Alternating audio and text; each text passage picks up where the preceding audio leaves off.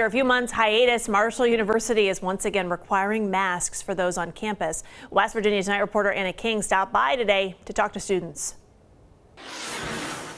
Students I spoke to all appear to be indifferent about the requirement. All of the students I spoke with say if this is the best move to ensure everyone is safe, they're okay with it. Right now, those on campus are only required to wear masks inside of campus buildings. And those with the university say this comes after the CDC changed the university's COVID 19 category following a spike in cases. In March, we were yellow, we moved to green, um, and now we are in an orange category, which is a higher risk uh, for the community. Um, with that, again, we, we went back to what, what's worked for Marshall University, um, following that guidance, and that's why we reinstated the uh, the masks here on campus. He says they've been following the guidelines of the CDC since the start of the pandemic, and they're confident as they've yet to see any COVID 19 related outbreaks.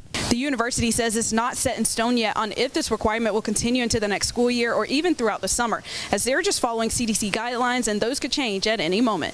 In Huntington, Anna King for West Virginia Tonight.